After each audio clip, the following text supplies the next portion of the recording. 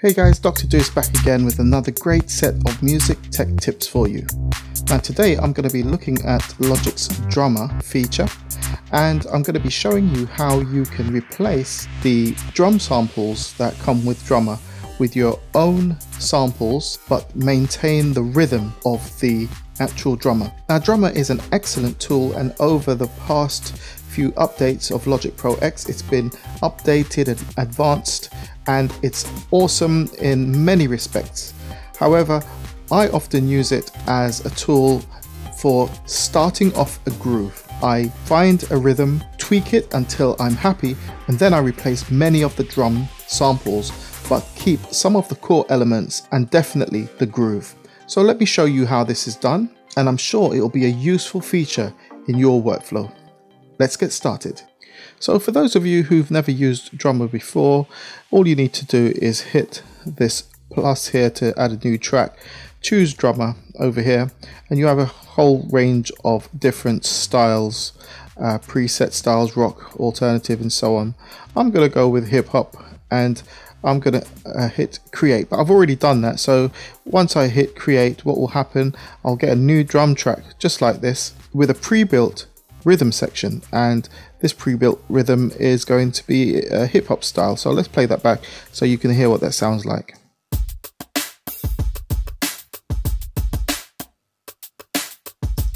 Okay so um, down here are the parameters that you can alter. You can uh, choose these different rhythm styles here. You can change the drummer you can tweak, um, mute, remove, and different parts of the rhythm. That's that's not what this session is about. This session assumes that you already know how to use drummer. Anyway, the main um, purpose of this video is to show you how you can replace the existing um, drummer samples with your own. So uh, let's assume that I've done all of my tweaks. I've chosen uh, one of these presets here. I'm going to stick with ambition and I'm happy with this, this uh, rhythm as it is.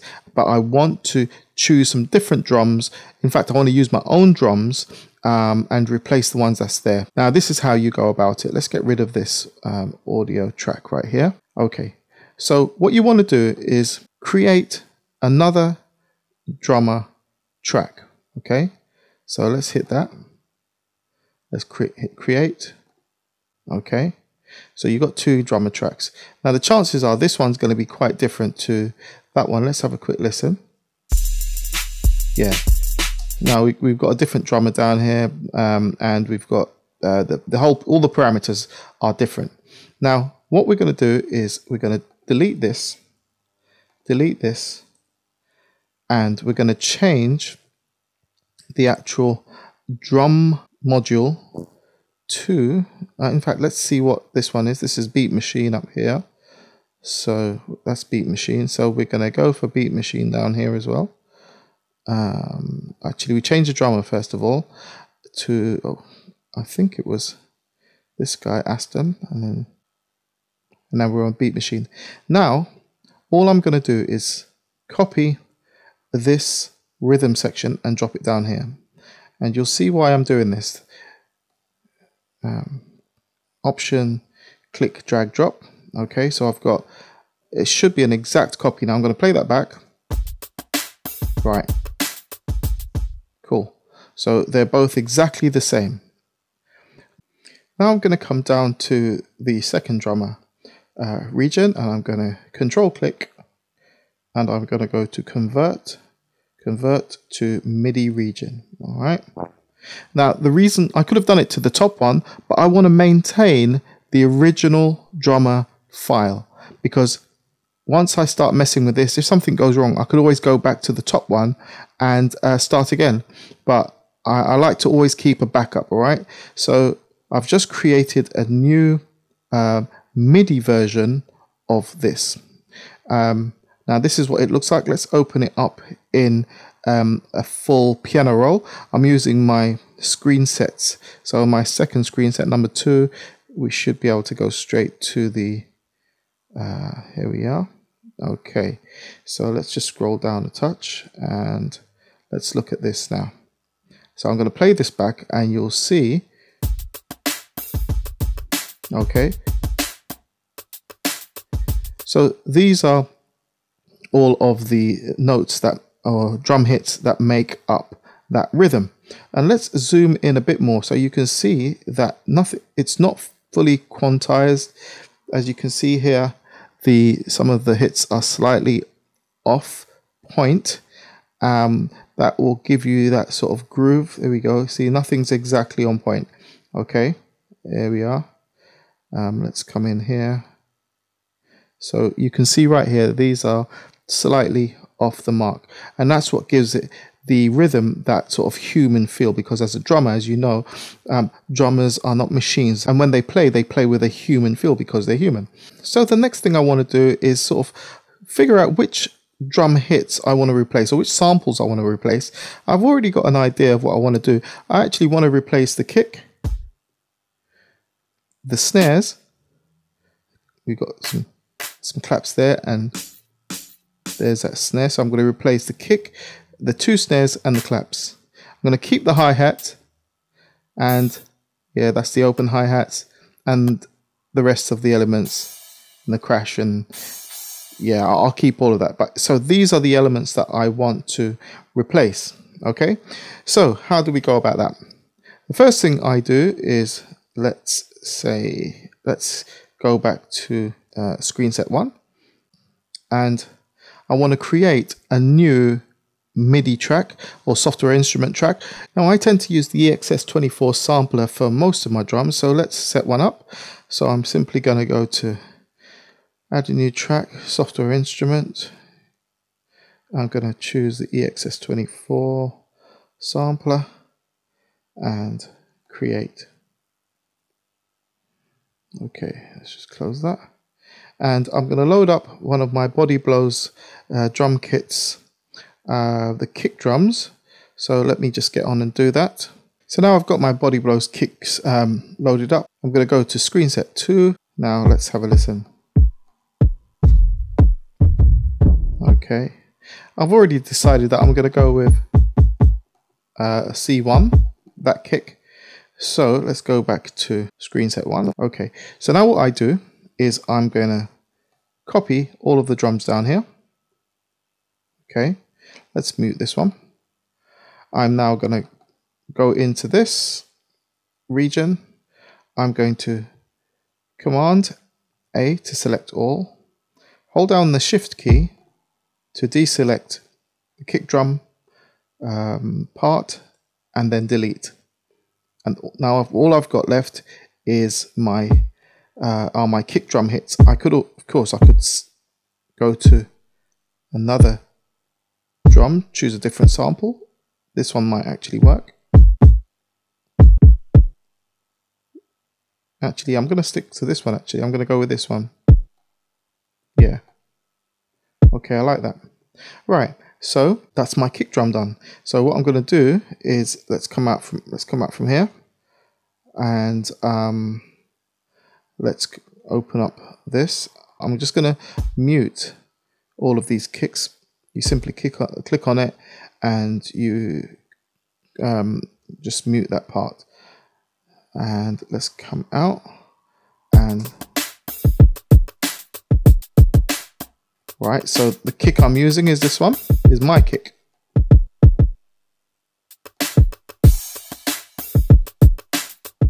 Okay, great. So I'm going to do the same thing for the snares and the claps. So same principle. I'm going to create another couple of EXS24 sampler instruments with my uh, snares and claps loaded up and then I'm going to reassign the drum hits um, with my own samples. So let's do that now. So I've got my new Body Blows uh, snares loaded up and I'm going to now do the same process. But before that, actually, let's label um, this region right here. So to label that, it will be Shift N and type, I'm just going to type kick in there. Okay. And now we are going to copy this, click option, drag and drop. Okay, we're going to go into this, just open that up in the piano roll. So, So we're going to use this snare right here and we're going to delete everything else. So let's Command A to select all. Uh, again, Shift, click to deselect that one and then delete. And I'm actually going to keep this position. So this is what we're going to have. Let's solo this. That's the snare I want. Okay, let's combine it with the kick.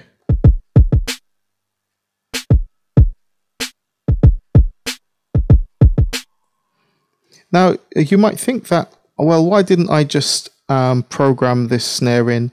Um, these hits have been humanized by the drummer program, and that's why I'm actually using those. All, a lot of the work has been done for me already in terms of humanizing the rhythm. Okay, so once again, I'm going to create another two EXS24 sampler instruments, one with snares and the other one with claps. Let me do that now.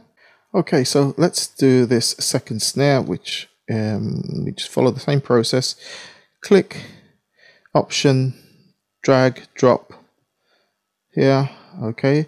And before I do this, I'm going to name this region snare one. Okay. And this one's going to be snare two. So let's get into this. Let's open this up. And where's our second snare, which is this one. Now this snare hits on every fourth beat, unlike the other snare which hits on two and four. So I just got to bear that in mind. But before we do that, let's get rid of everything else. So again, Command A, select all, Shift, click to select that, and delete everything else. Okay. Now I know that the snare that I want to assign is actually on the note G4 so let's grab this, select all of this, and I'm going to just pull this up to G4. Let's just have a listen to my three reassigned elements.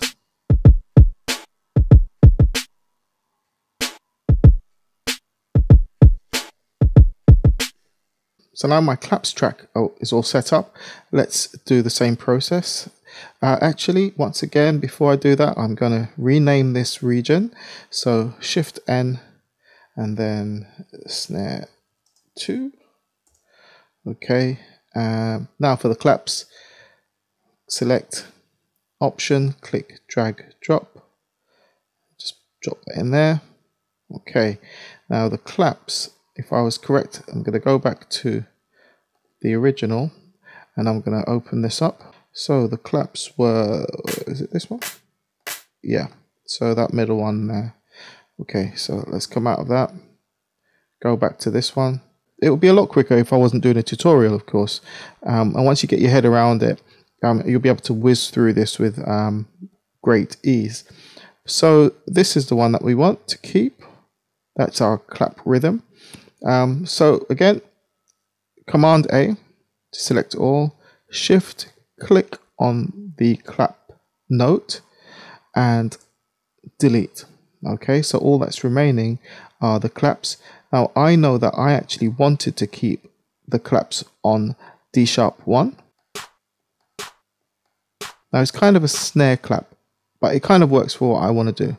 So let's come out of there and let's play back just my elements. So let's see what we got.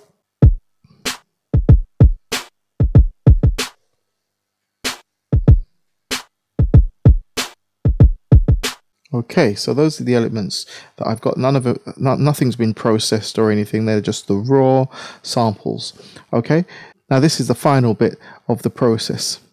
So I'm going to solo that. I'm going to go in here. I'm going to select all of these. I'm going to hit mute and mute all of those. And let's come out from there again. So up here, we've got let's say it was just the percussion that's playing here. So I'm just going to rename this to percussion. Uh, okay, and down here, this these are claps. And we're going to read, let's just read, well, that, these are properly properly named. This just this is the only one that needs renaming. So we're just going to double click on here and we're going to um, call this percussion. Okay, so let's play that back and have a listen, see what we got.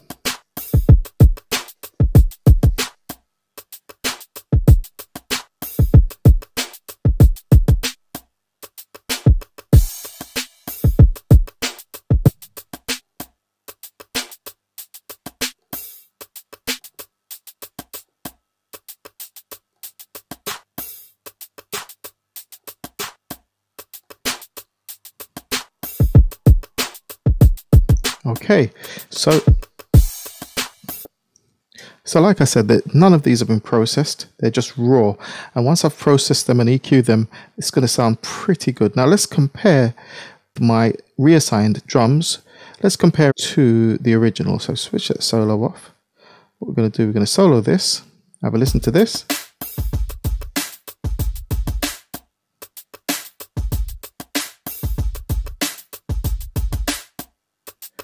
And now this. So there's a lot more weight on the kick drum. And there's a lot more I could do with the snares as well. And the claps, I could brighten them. Plus they're on their own individual tracks. So I could actually process them individually. Let's go back to the original.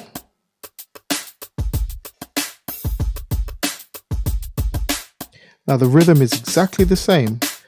However, the samples I feel, I uh, my samples are far more dynamic, have got a lot more punch and a lot more flexibility. So this has been a real quick overview on how you can achieve this process of replacing or reassigning drummer sounds or elements using your own samples. Um, of course, like I said before, because it's a tutorial I'm doing, it might seem a bit long-winded, but once you get your head around it and you get into it, it's actually really, really quick and simple. Um, it's a really powerful tool, Drummer, and if you want to learn more about it, please do drop me a line and I'll see what I can come up with in terms of a more in-depth uh, Drummer tutorial. So do remember to share, like, comment and subscribe to the channel because it's always great hearing from you. So until next time, I'm Dr. Duce. Peace.